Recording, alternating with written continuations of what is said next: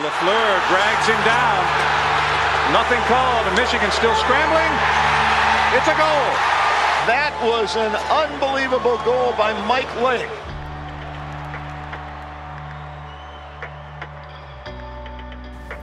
I remember that actual game, we were just getting dominated. We just needed something, either a big hit or a big play, and that just presented itself. I told myself going into playoffs, get it out of your head, don't even think about it. I was kind of scared going to the bench with Coach Berenson there and just seeing his reaction if that was is that acceptable or not.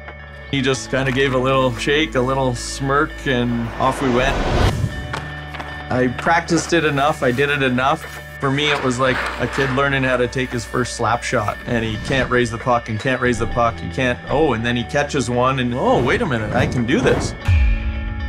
Watch this. Oh, he just reaches around, it stuffs it in the top. Put it in. Unbelievable.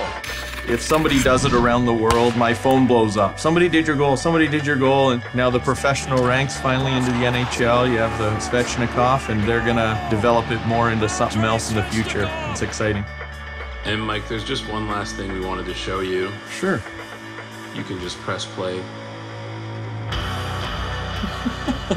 Not only is the Michigan in NHL 21, but you're going to be a playable athlete in the game. Come on. I'm touched by it. I'm humbled by it. That is so cool. It's unbelievable. Unbelievable. Can't believe it.